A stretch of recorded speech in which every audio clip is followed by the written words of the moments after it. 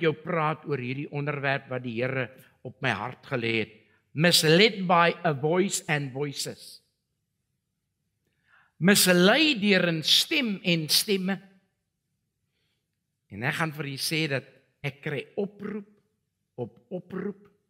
Ek sien mense op mense wat vir my sê die stem het vir my so gesê en dan sê ek en hoekom is jy nou in 'n gemors? Want dit was nie die stem van die Here nie. Ek wil hê jy moet hoor wat ek nou vir jou sê. Dit was nie die stem van die Here nie. Dit was die goed wat jy rook. Nou nie hierso, sorry. Want daai gras kan jou deurmekaar maak. En ek dink dit is nodig dat ons dinge sal aanspreek. Want jy weet ons wil alles mos maar net cover onder die woordjie liefde.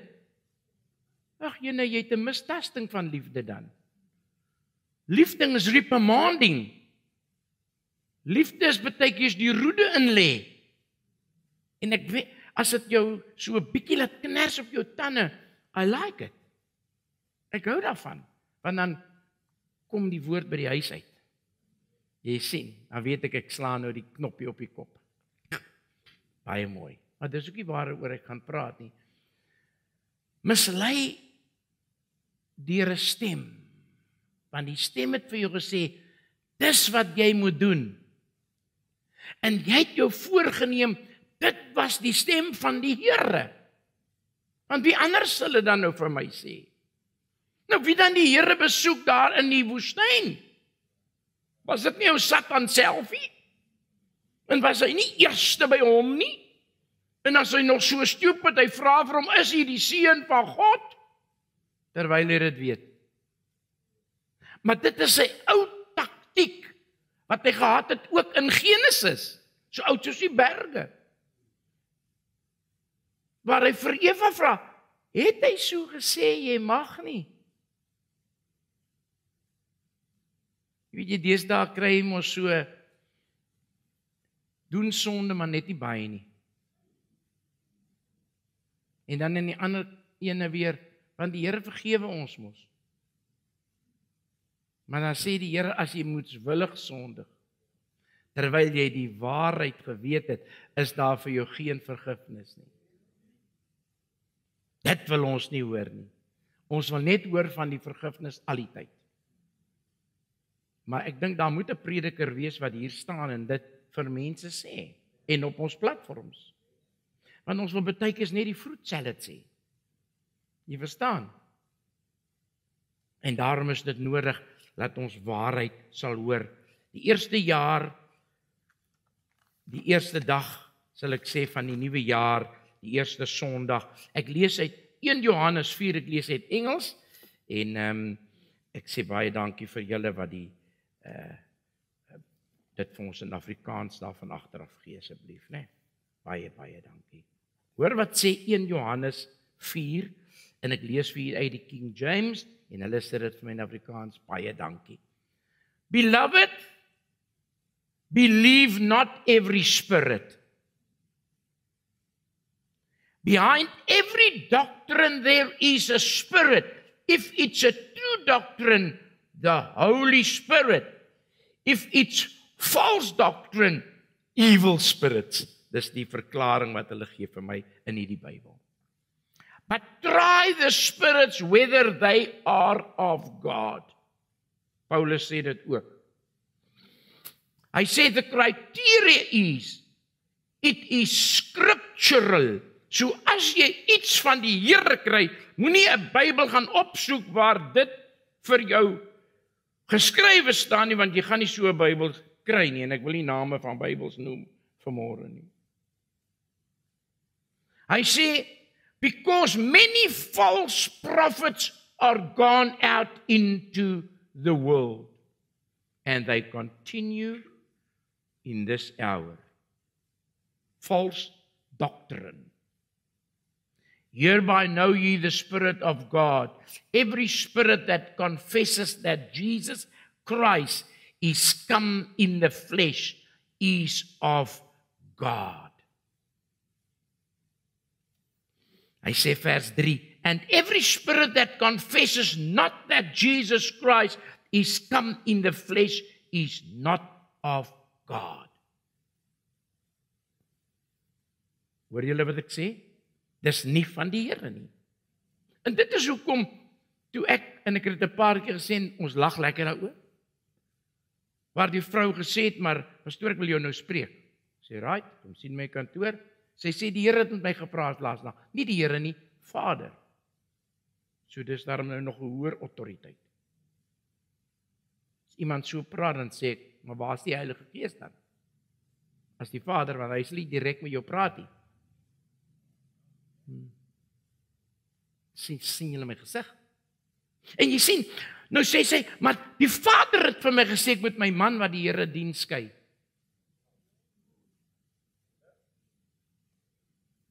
Net sit 'n luister vir haar so en ek dink laat jy nou klaar praat. Toe sy klaar is, toe antwoord ek haar so in 'n mooi vleeslike gees. Ek sê jy het te veel vleis geëet, toe kry jy nagmerrie.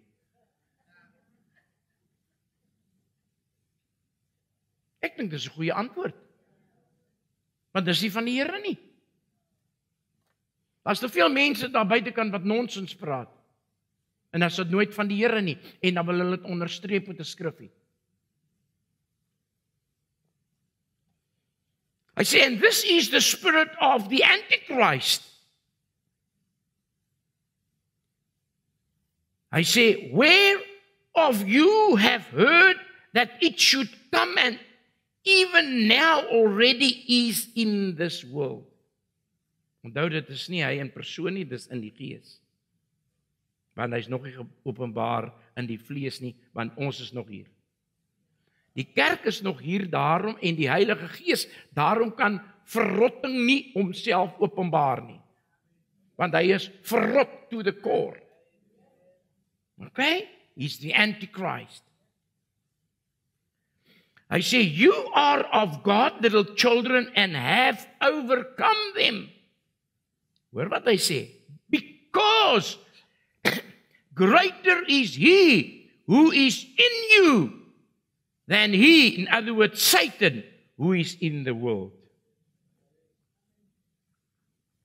Vers 6 sê, We are of God. He who knows God hears us. He who is not of God hears not us.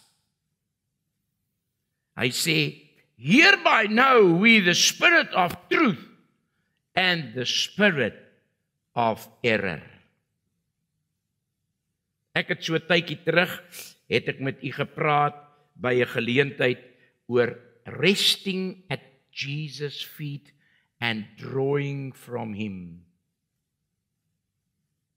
En ek het 'n skrif gelees by daardie geleentheid en ek wil dit graag weer vir u net ek het maar net 'n aantekeningkie van dit gemaak. U het nie nodig om dit uh, as ek dit nie daarop neergeskryf het na te slaan nie. Ek wil net kyk of ek dit hier gemerk het. Ehm um, laat ek net gou kyk, sorry. Ek het gevoel ek wil graag Ecclesiastic 9 verse 11.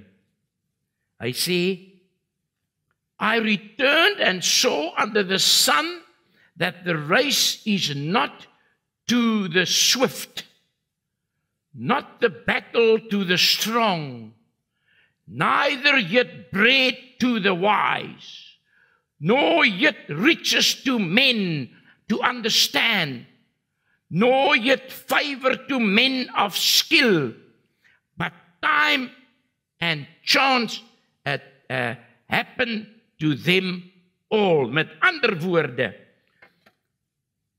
daar gaan mense wees so skaapwagters wat opstaan. Dis Bybels wat die reuse gaan verslaan. Nie die slim Don Juans nie. Ek wil hê jy moet mooi verstaan. Want die vyand het reg deur die Bybel het hy probeer. Nie die Simpsons nie.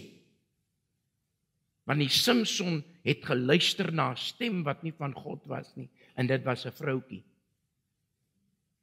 En nou wil ek nie die vroutkies afkraak nie.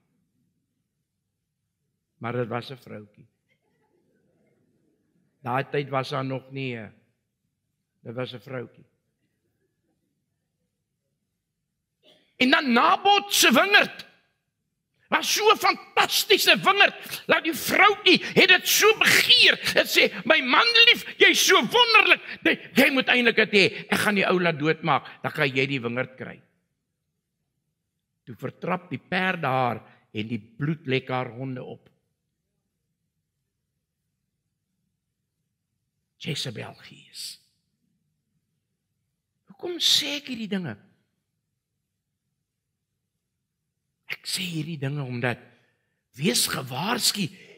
Daar stemme wat alreeds met jou praat soos wat jy hier sit. Ek kry oproepe waar die stemme met jou praat en hy wil vir jou wonderlike dinge toegee en sê en dan wil hy dit dat klink na dit is die Here wat sê dis wat jy moet doen. En dan sê die duiwel. Ek sê dit is iets verskriklik om te dink Ons sit baie keer in Pinksterkerke waar die waarheid uitgaan en ons vat net wat ons eintlik maar wil hoor. Dis 'n ander Sondag hierdie hoor. Dis 'n ander diens vanmôre. Maar as jy gaan doen soos wat die Here met my gepraat het, wil ek vir jou sê gaan jy 'n ander mens wees. Jy gaan anderster lewe. Dit gaan beter met jou gaan. En dit is dan wanneer 2022 is the year for you because you're going to have a breakthrough. Hallelujah. And even your family they will stand amazed. Hoe dit gebeur? Ek het geluister na die stem van die Here. Toe ek na hom luister, toe lei hy my in oorwinning. Nie my eie begeertes nie. Maar wat wil God hê? Van my. Wat wil God hê van my? Halleluja. En dit is so nodig. So nodig. Those evil voices how will we know whether they are God? Ek gaan jou sê hoe gaan jy weet? Nie moet mooi luister. When God speaks, he speaks with wisdom. En wanneer God met jou praat en die Heilige Gees luister mooi, dan kom daar 'n vrede in jou. Nie 'n opstand nie. En jy gooi tantrums nie. Want ek kry dit nêrens in die Bybel nie. Ek moet dit sê. En as ek alself tantrums in my lewe gegee het, dan preek ek vir myself ook. Ek dink ons het nodig om dit te weet. Toe die duiwel Jesus besoek het in die woestyn, was sy vraag gewees in Matteus 4 vers 3: As jy die seun van God is, Met ander woorde, ek wil jou so bietjie te mekaar maak. En is ons in 'n deurmekaar tyd? Ek wil hê jy moet hoor wat ek sê. Is ons in 'n deurmekaar tyd? Meer as ooit. Dis hoekom baie mense, die man slaan hulle vrouens, dan bring hulle vir hulle blomme en dan sê dan huil hulle. Dis dan wanneer jy moet wegjaag. En sê vat jou blomme saam met jou. Want hy wil almekaar dan hy sê hy wil hy glo aan liefde met gevoel.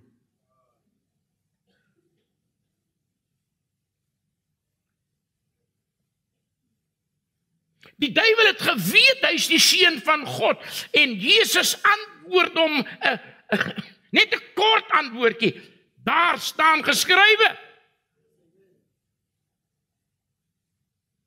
Jy sal die Here aanbid en hom alleen. So seker moet jy wees van die woord van God. So seker moet jy wees dat jy nie waks in jou ore het nie. So seker moet jy wees dit is nie 'n stem van die Here nie, want ek tel dit nie in die Bybel op nie. Ooh, en daar staan manne op en hulle het opgestaan deur die jare en ek wil nie hulle name almal noem nie. Hulle ontvang koperplate. Dan sê hulle dis nou die woord van God. En dan hang er duisende hulle aan. Want is asof die mens se kanel brein is meer ingestel om die verkeerde baie keer aan te hang as om die waarheid. Want die Bybel sê jy sal die waarheid hoofletter W die waarheid is Jesus. Hoor nou mooi jy sal die waarheid ken en hy sal jou vrymaak Jy sal nie die pastoor en die dominee en die predikant en die evangelis en die eerwaarde nie. Hy sê nie jy sal hulle ken nie. Hy sê jy sal die woord ken. En wanneer jy die woord ken, sal jy vry wees. Halleluja. Ek tel so ietsie op terwyl ek uh uh, uh nou so tydjie terug en ek voel ek wil dit vir u lees hierso. Hoor nou mooi. Hy sê a young woman was excited that her sister noticed it and went to her, "What is it?" And she's excited. Sy sê, "Oh, God is speaking to me." Hmm. Is dit? Saying wonderful things en jy weet nou so nuuskierig kan 'n mens dan raak ek meen ek sou ook so wees. Wat het hy gesê? Hy lyk so excited. wow! Mense, vertel my. Hmm. Die storie gaan aan. She became so excited that her sister asked her asked their supervisor if they could be excused for a while. Wil 'n bietjie afvat een kant toe gaan. So the overseer allowed them both to be excused for a time and they went into a room. The first sister became so excited with these messages. So she believed that it was of God, that her white blouse became spotted with blood as she pricked her flesh with the nails. Jy weet dis daar's hulle naels lank. Party van hulle so gekrul ook sien ek op die televisie.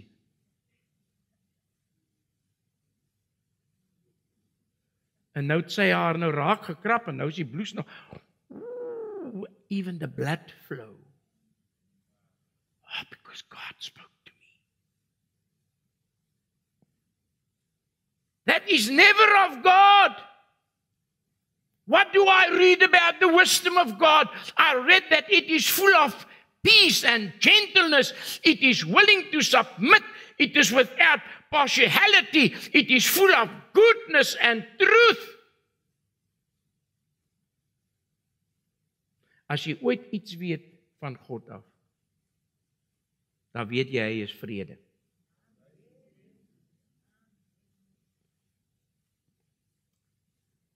En as jy enige iets weet dat dit is van die wêreld, dan wil ek vir jou sê kan daar nie vrede in wees nie.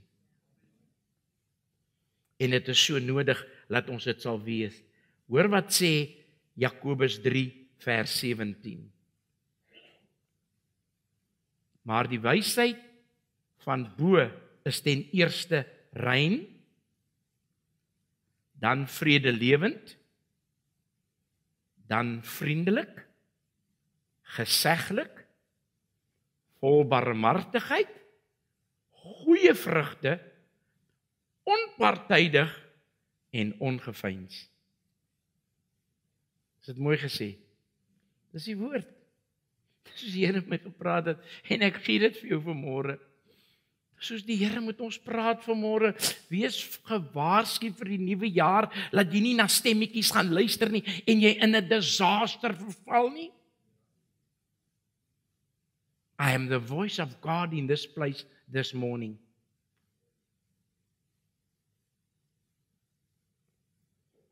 En daarom wil ek vir u dit noem. Wanneer jy 'n stem hoor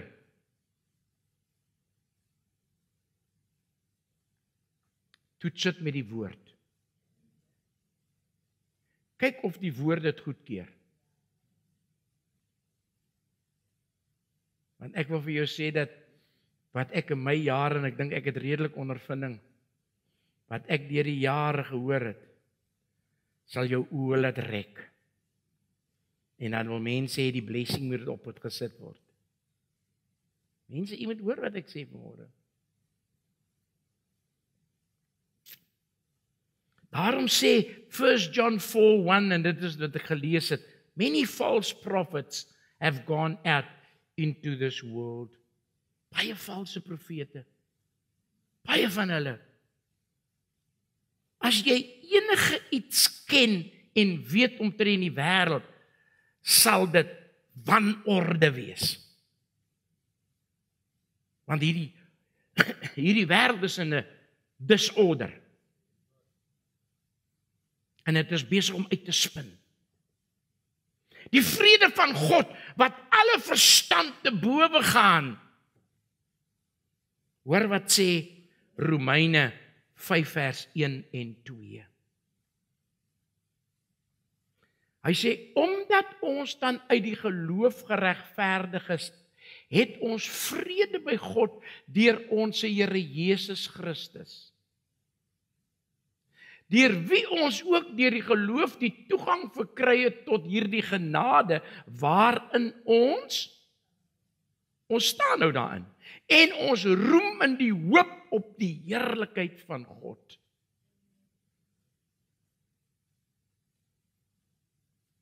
Ek sê vir baie mense wat 'n droom kry. Dan sê hulle vir my ek is geweldig geskok in die droom. Dan sê ek sny dit onmiddellik af Dit is 'n waarskuwing miskien, maar dit is nie wat die Here in plek het vir jou nie. Lelike goed al gehoor al. Kry onmiddellik en klaar daarmee. Moet dit nie koester nie. En daarom is dit so nodig. Jy weet jy kan nie verhoed as 'n voel oor jou kop vloei vlieg nie. Maar wanneer hy op jou kop kom sit en hy maak 'n nesie daar. dan is jy verantwoordelik vir daai nesie. OK. Kan ek 'n mooi ander verduideliking gee? Jy stap in die straat en die wind waai.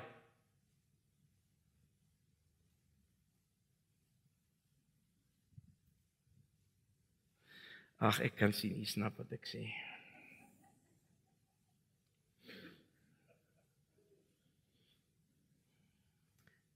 1 Petrus 5 vers 7 wil ek vir u sê moet u nie u self vergryp aan nie. Werp al julle bekommernisse op hom want hy sorg vir julle. Don't you take somebody else's burden because this is what God doesn't want and his word doesn't say that. Now you can't sleep because of somebody else's burden. Ek wil u help vanmôre. Hy sê cast your burden. Hoor nou mooi, your. Die Afrikaans is 'n bietjie anders, maar die maar die maar die Engels wat wat jy kan vat. Hy sê cast your burden upon me. Want ek sal vir jou sorg. Maar nou vat jy ander se burdens op jou. En nou is jy al soos Atlas. En soos Hercules. En jy doen dink jy doen 'n wonderlike guns vir die Here. In die tussentyd is jy besig om jou eie energie te mors. Leer ek vir u iets vanmôre? Jy sien dan ons dra so swaar aan ander se burdens laat ons ons blydskap verloor. En dan sê maar God weet. Ek oh man help my vanmôre Here We must teach them that you must carry your own burden, but you must cast it on the Lord, and He will provide for you. Ons moet hulle leer. Ons word hulle jellyvisse. En hulle is later aan, hulle is so ek wil amper sê in 'n verwarring. Want as hulle die Bybel lees dan gaan dit oor iets anders as wat ek hoor wat die wat die mense sê. Kom ons gee om vir mekaar. Ja, dis verseker. Maar die Bybel sê ons moet ons mense leer, cast your burdens upon me. Amen. En daarom is dit so noodsaaklik. As jy nie vrede het nie, het jy uit sy wil beweeg erns. Ja, pastoor, kan dit waar wees? Ek gee vir jou maar net die woord. If you are not making progress, you are backsliding and not going forward.